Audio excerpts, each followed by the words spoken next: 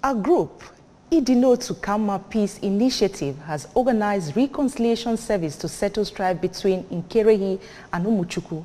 The initiative, put together by youth from Nkerehi and Umuchukwu town in Orumba South local government area of Anambra State, who came together to end the 17 years old conflict, which led to loss of life of one of the sons of the community. We have details. The events, which took place at Onumajuru in the town, brought many indigents from both divides, which comprise five villages, which include Isiama, Umwana, Uhu, Umweze, and Umualoma. Speaking at the event, Venerable Ferguson Ezokafor expressed joy with the move by the people to put an end to the long-term communal crisis between members of the village, stating that the importance of peace and love cannot be overemphasized in bringing rapid growth and development in the community. He pleaded with the group to resolve all issues and never allow such ugly incidents repeat itself in the future, stating that they must adopt sacrificing for one another as a yardstick to bring about lasting peace and the much needed development in the community. Venerable Ezokafor asked the people to adopt the spirit of forgiveness to leave a good legacy for their children instead of fighting and quarreling and advised that such meetings will be organized annually.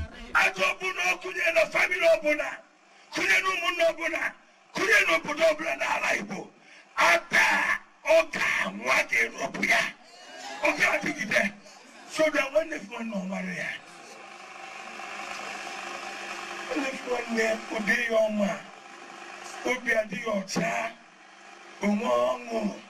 The initiator of the peace and reconciliation process and the founder Idinotu Kamma initiative, Apostle Chinaza Akachukwu, said that the move was born out of prayers and revelation from God, while recounting series of failed attempts in the past to establish the initiative, praying that God will see them through as they continue to walk in peace and love. According to a priest at Mbauku, Reverend Father Ignatius Onwatuegu, the strife has taken toll on the much needed and expected development in the community for close to two decades. He advised the community to uphold the light that has been rekindled through cordial interaction to ensure lasting peace is sustained.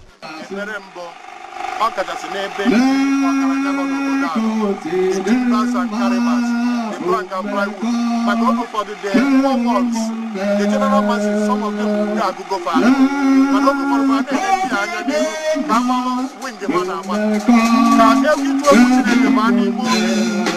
mmadụ niile nwere n'obodo a ndị ọgaranya niile nwere n'obodo a ndị ọnụ ha na-ekwu ndị ọnụ ha na-ekwu n'obodo a ka e wee nwee mgbanwe In his the chairman Idino Tukamma, Mr. Sunday Obi, expressed happiness and thanked God for making the peace process a reality and added that he is optimistic that God will perfect what he has begun in their community. Climax of the event was special prayers, praise, dance, and worship.